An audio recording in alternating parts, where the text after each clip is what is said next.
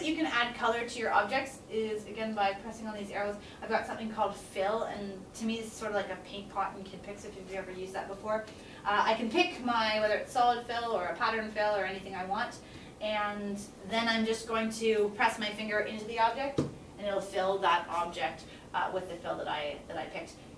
As of now, my finger, because I haven't gone back to my pointer, it will fill anything else that I uh, press until I go back to that pointer. It does not fill backgrounds, but it'll fill within an object. If I want to stop filling objects, I just need to press back on my pointer, so that way now I won't be able to fill things without.